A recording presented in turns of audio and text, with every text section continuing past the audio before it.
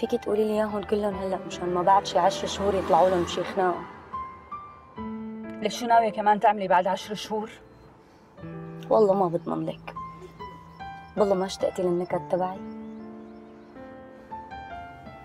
أمي أنا تعبانة كثير أكيد بعد كل شي صار مالي حسنانة أعمل شي.